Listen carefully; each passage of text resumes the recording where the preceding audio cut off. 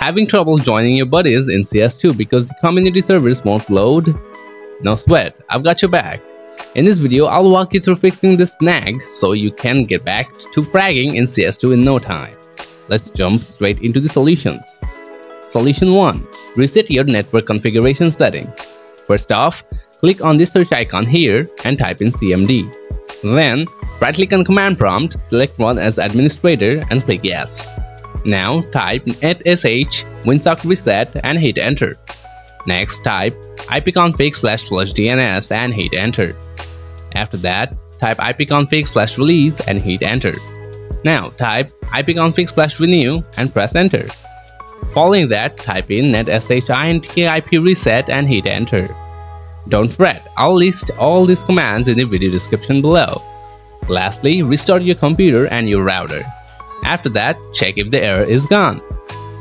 Solution 2. Run Steam as an administrator. To start, right-click on the taskbar and select Task Manager. Then, in the search bar here, type in Steam. Next, right-click on Steam 32-bit and select End Task from the context menu. After that, close the Task Manager. Now, right-click on the Steam shortcut on your desktop and select Run as Administrator. Click on Yes to give permission. Now, check if the issue is resolved. Solution 3. Verify and repair CS2. Begin by clicking on the system tray icon. Then, right-click on Steam and select Exit Steam. Once that's done, open up File Explorer. Navigate to your C drive. Then, open the Program Files times 86 folder, followed by the Steam folder.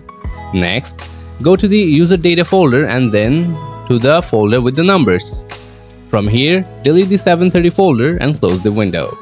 Now reopen Steam. Head to the library. Right-click on Counter-Strike 2 from the left side menu and select Properties. Click on Install the files. Now click the Verify Integrity of Game Files button. Steam will begin verifying and repairing the game. After that, the issue should be resolved. So that's how you can fix the issue of community servers not loading in CS2 on your computer. If you found this video helpful, don't forget to hit that like button. Have any questions? Drop them in the comments and I'll get back, get back to you real soon. Thanks for watching.